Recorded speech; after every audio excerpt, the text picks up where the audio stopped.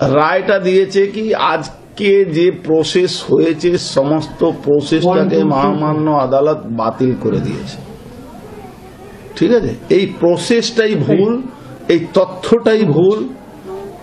Already chairman একটা meeting ডেকেছেন কুড়ি জানুয়ারি। তার মধ্যে এই মিটিং ডাকার কোনো মানে ছিল না। কাল রাত্রিবেলা চারজন কাউন্সিলরকে গান পয়েন্টে তাদের বাড়িতে গাঁজা রেখে বলা হয়েছিল তোমরা যদি ভোট ভোট দিতে না যাও তাহলে তোমাদেরকে আমরা গাঁজা কেস খাওয়াবো। এই ধরনের রাজনীতি মমতা ব্যানার্জি বাংলায় শুরু করেছেন।